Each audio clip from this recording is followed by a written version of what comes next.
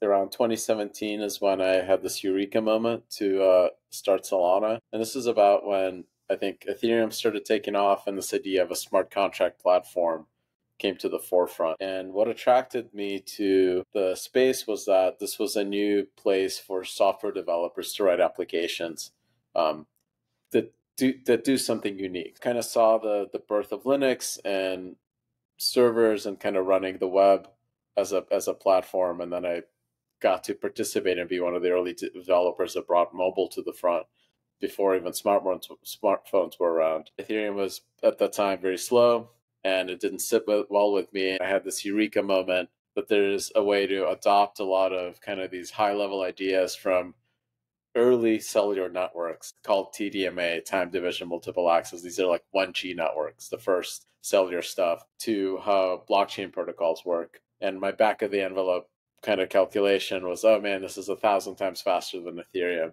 And that what got me to go and kind of put a team together and raise capital and, and build Solana.